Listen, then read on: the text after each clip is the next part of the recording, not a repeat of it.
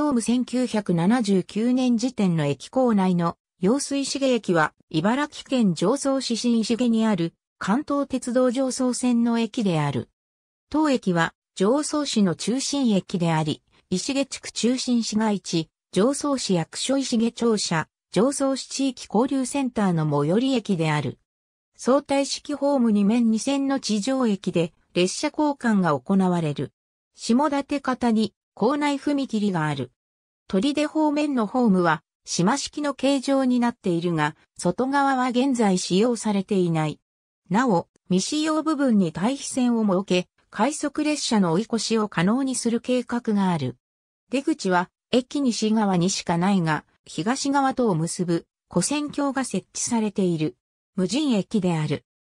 かつては駅業務を他社に委託していたが、2010年に一部時間帯が駅員無配置となった後、2013年5月より駅員配置時間帯がさらに短縮され、7時から11時以外は無人となり、2021年9月11日には終日無人駅となった。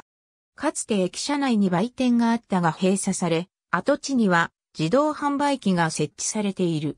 2018年度の1日平均乗車人員は448人である。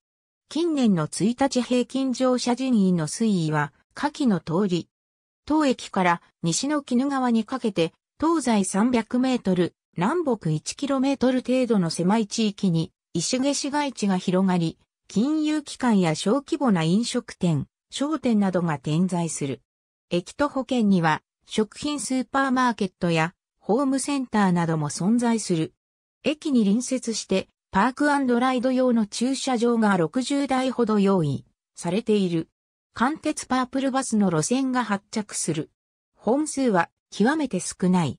土浦駅系統は2019年6月まで、平日は4往復。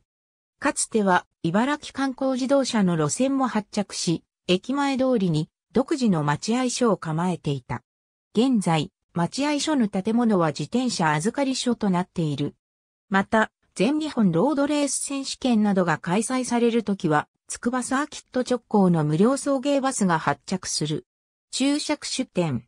ありがとうございます。